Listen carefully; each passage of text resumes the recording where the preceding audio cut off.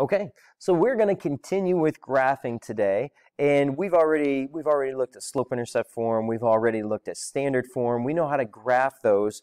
Um, let's look at some special graphs today that kind of give students some some trouble. Um, again, let me give you just a, a normal, real nice slope-intercept form equation. Okay, y equals 1 half x minus 2. We know the y-intercept is negative 2 down 2 on the y-axis, and then we're going to go, our slope is 1 half, so we're going to go up 1 over 2, up 1 over 2, and that's our line, and that's no problem. We got that easy. But if you're looking at this and you're looking at those equations on the top, you're like, those equations look different. They're just not the same. Um, for one thing, they don't have an X or a Y in some of them. There's only one letter. So how are we going to graph these? Well, first of all, if you recognize that there's only an X or only a Y, you you got the first step down, okay? You you notice that there's you you notice something very important. Now, if there's only an X or only a Y in an equation, our graph is going to look like one of two things. It's either going to be a vertical line like this, or it's going to be a horizontal line like this, okay? There's never going to be an angle in it, okay? either a vertical line or a horizontal line. So let's see what it is. Okay, so the first one is y equals 5. Well, let's just go to a spot where y is equal to 5. Like, go up 5 on the y-axis. Okay. Um, show me another point where y equals 5. So that, that point that we just graphed, that's the point 0, 5, right? My x is 0, my y is 5. I went over 0 up 5. Show me another place where y is equal to 5. Well, what if my x is 1? If my x is 1, my y is still going to be 5. What if my x is 7? Well, my y is still going to be 5. What if my x is negative 6? My y is still going to be 5. And so to graph the line y equals 5, it's just a horizontal line right there. Okay? Let's graph the line x equals 4. So let's go over some place where x equals 4, like maybe 4 on the x-axis. So go to the point 4, 0. x is 4, y is 0. Let's try another one. x is 4, y is 2. x is 4, y is 2. x is 4, y is 4. Right there. Or that was y is 5. But what we're going to see is this. This is the equation x equals 4.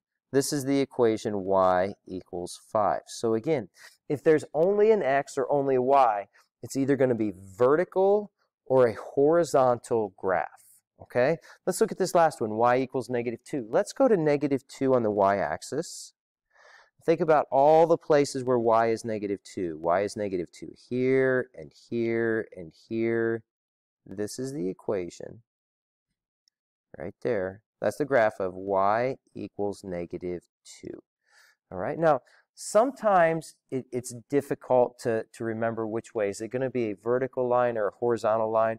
Sometimes that's difficult. Now, just in general, okay, this is, this is a 90% rule. Okay, so in general, we're not going to draw a line on the axis right here. So in general, if we're putting, if we start right there at x equals negative 7, we're not going to make a line across on those y-axes. Okay, so don't draw those on the y-axis. It is possible.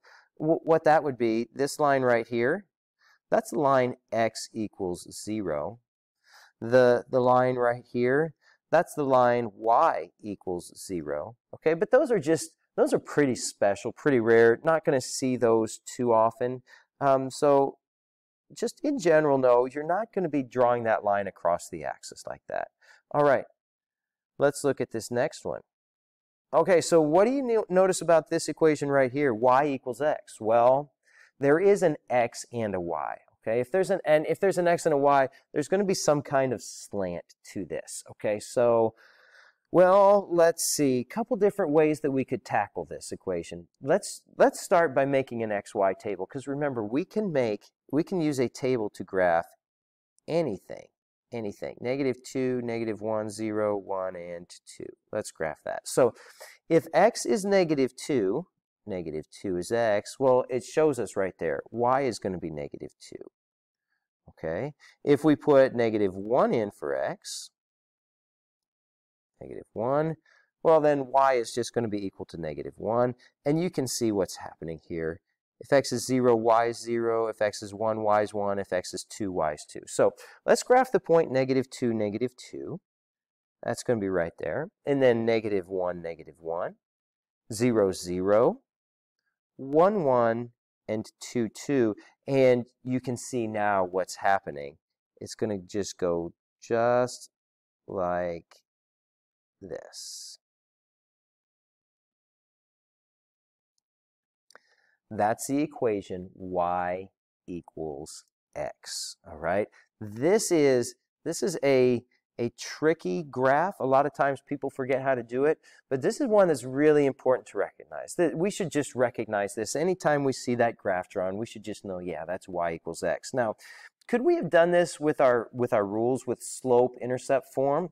Well, it's, it's tricky, but there's some, there's some numbers hiding here. Because usually we're used to seeing something like this, y equals 7x minus 3, right? Like that's what we're used to seeing. But we don't have a number out here. We don't have the y-intercept. So up here back in this equation, right here, there's no number there. So if there's no number there, what number is it? Well, nothing is just 0. So that would be like a plus 0. Okay, same thing. We're used to seeing like a 7 in front of the x down there. What number's in front of our x in this equation? If it's just an x, we know this. If it's just a variable, there's always a 1 in front of it. So that equation, y equals x, is really the same thing as y equals 1x plus 0. Y equals x is the same thing as y equals 1x plus 0. So how would we graph that? I'll do it in reds just so you can see. Well, our y-intercept is 0. Our slope is 1, so we go up 1 over 1, up 1 over 1, up 1 over 1, up 1 over 1, and you can see that it's the exact same line. Okay, now I'm going to do the next one in, let's do green for something different. So y equals negative x. Let's think about this the same way if it was slope-intercept form.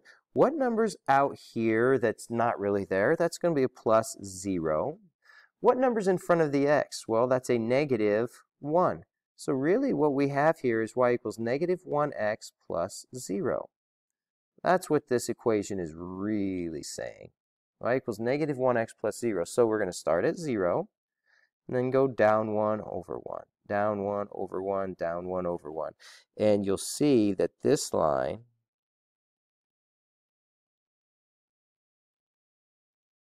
well, not perfect, but pretty close.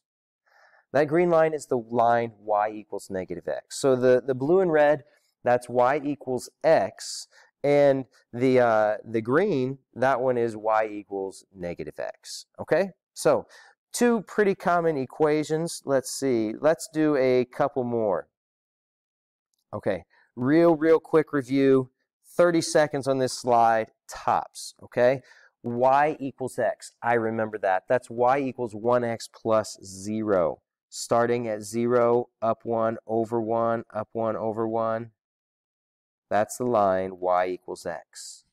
Okay, what about x equals negative 5? I remember these. If there's only an x or y, it's going to be vertical or horizontal. So let's go to x equals negative 5, negative 5 on the x-axis. All right, where else is x negative 5? Well, it's negative 5 here. This is negative 5. That's negative 5 for the x value. This is the line y equals x. I'm sorry, x equals negative 5. This was the line y equals x. How about the last one, y equals negative x? Well, I remember that. That's negative 1x plus 0. So we're going to start there at 0 again and go down 1 over 1, down 1 over 1. And whoops, that disappeared in a hurry.